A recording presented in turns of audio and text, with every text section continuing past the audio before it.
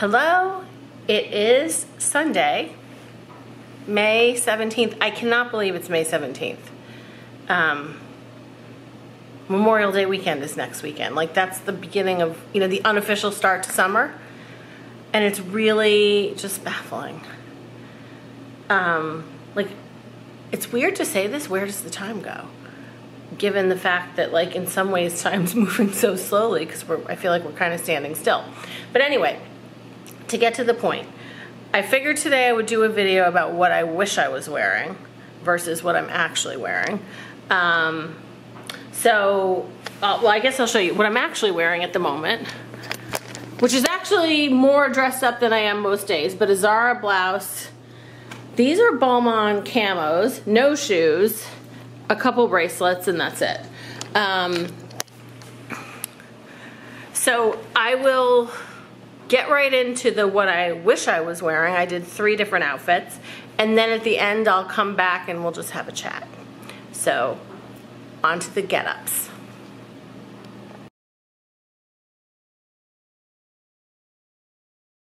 Okay, so outfit number one and what I wish I was wearing, hold on, I think I was gonna carry this purse, is this super fun, I think it's a Zimmermann top.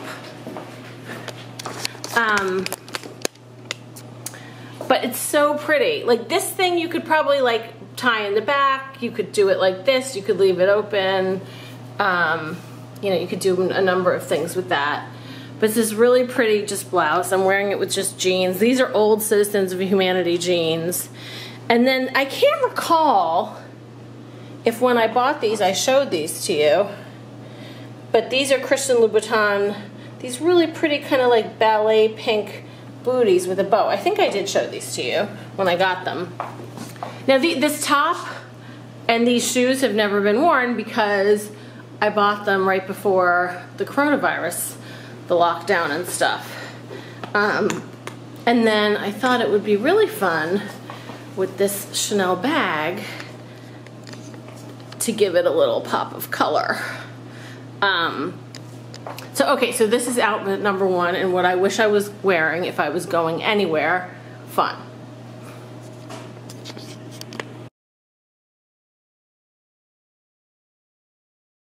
Okay, outfit two of what I wish I was wearing is this Gucci blouse, which is also brand new. You see the tags, I haven't even taken them off yet because again, I bought it before. I wasn't really allowed to go out um, with a Balmain blazer. Although I feel like maybe this would be really cute with like a lighter color blazer. I'll have to try it with like a white blazer. Um, these J brand jeans. For the moment I have on the same Christian Louboutin shoes and my um, my Kelly bag.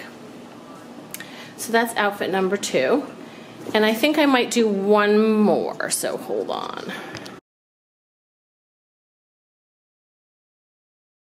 Okay, and now for I think the final look in what I wish I was wearing is this is a Dolce & Gabbana blouse, sleeveless, that I actually have had the chance to wear once because I wore it when I was in Florida in February.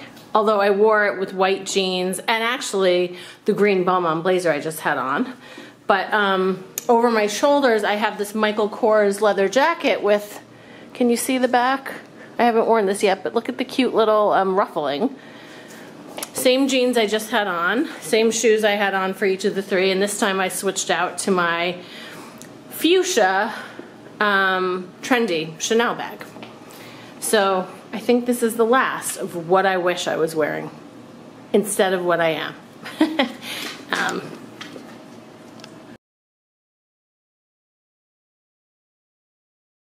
okay, so hope you liked the get-ups. Um, I actually was kind of fun doing that. Um, you know, nice to like put something on other than what my routine has been. So I guess we can start there. What has my routine been?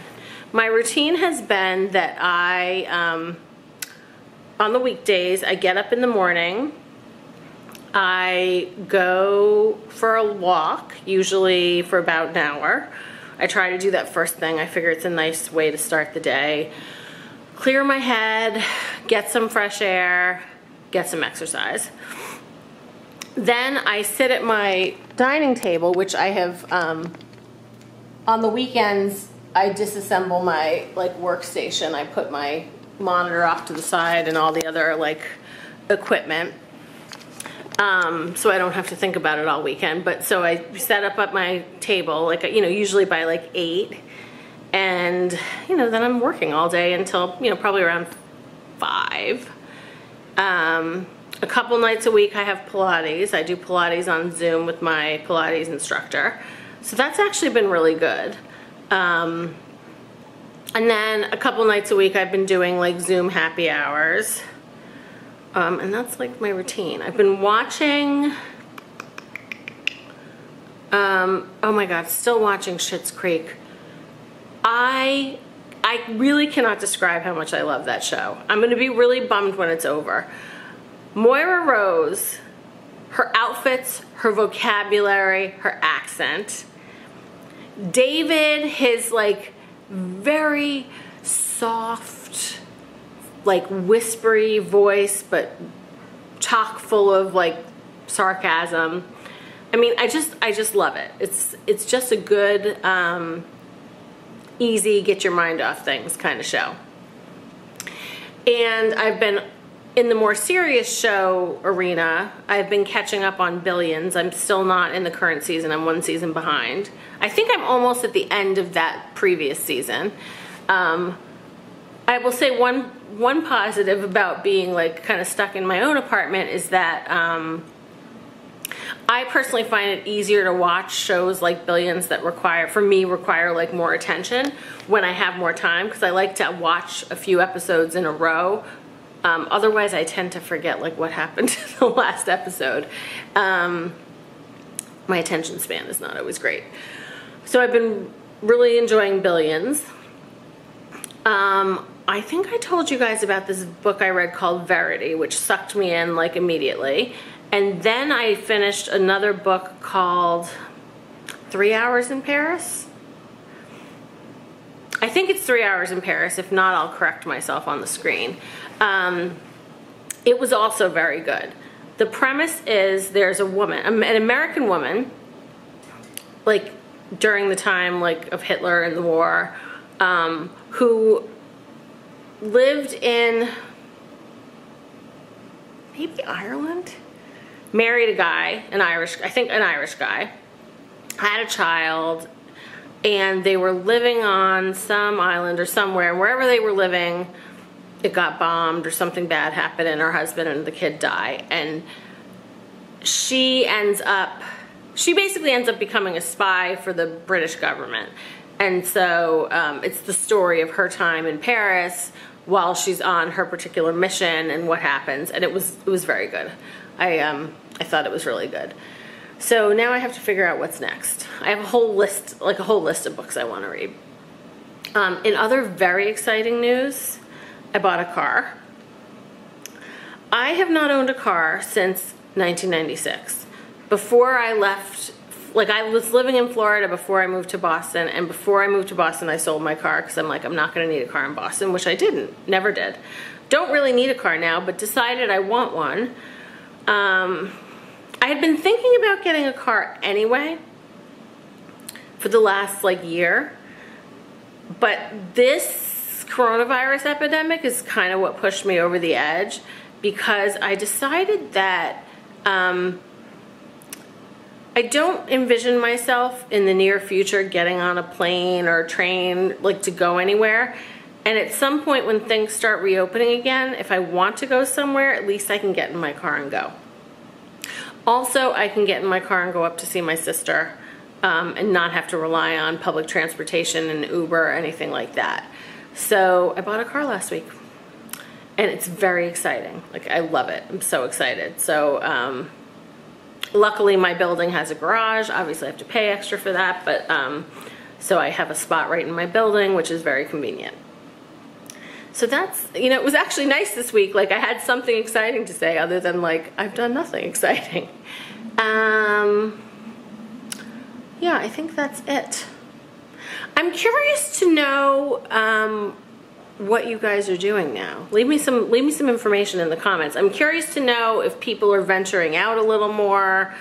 Um, I am finding that a lot of people are finding their like pod of people that they're comfortable being with. So I have seen my brother and sister um, because I know they're not really, you know, out, like they're in, I'm in. Um, so anyway, I've seen my brother and sister. I'm not like expanding my group, you know, I'm not casting a wide net, but I feel like at some point you need some human contact. Um, so anyway, that's where I am.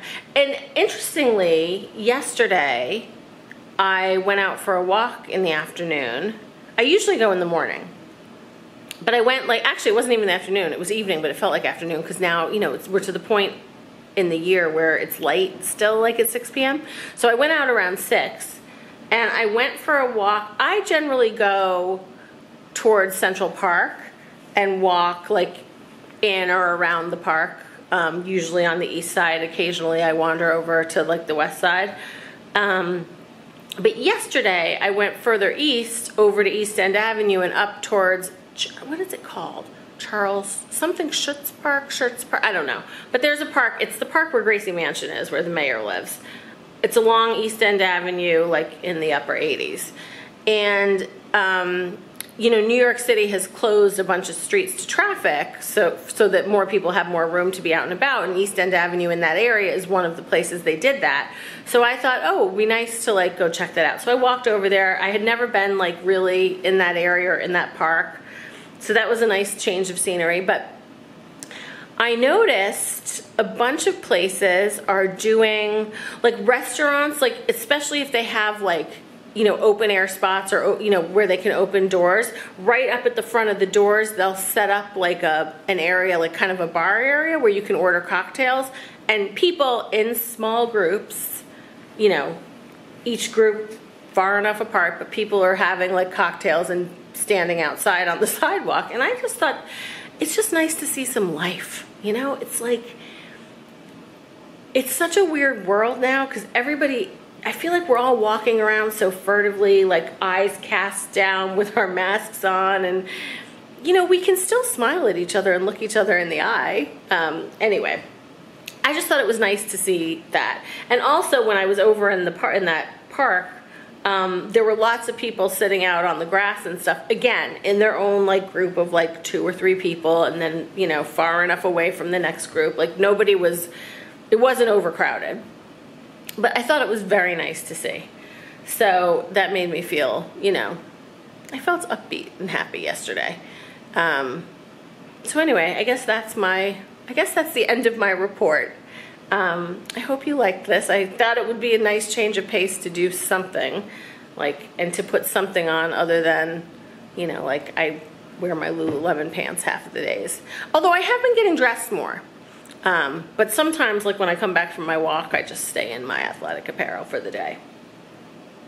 So that's it. I hope everybody's doing well. I know this is a very difficult time. Um, for any for anybody that's out there, you know, still working in the public because you have to, thank you. Medical people, restaurant people, grocery store people, public transportation, like, you know, anybody like that, uh, you know, I thank you because you're helping me and lots of other people like me. Um, and I hope everybody's doing okay. And I hope we're all on the upswing. I'll talk to you soon. Bye.